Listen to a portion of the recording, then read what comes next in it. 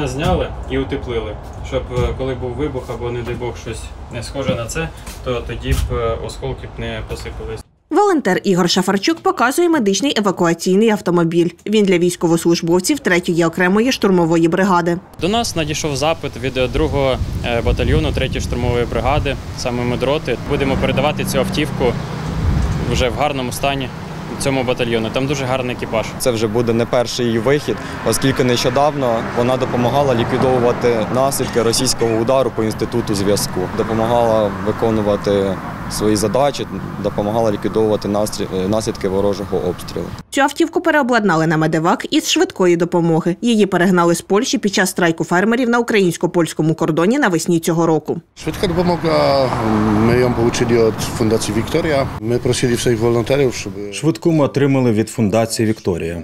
Ми просили у волонтерів, щоб передавали листи від нас, що вона не йде як приватна автівка. Вона йде як допомога для військових, які беруть участь у бойових завданнях. Тож люди пропускали нас, як бачили, що це швидка допомога. Знімали блокаду і пропускали.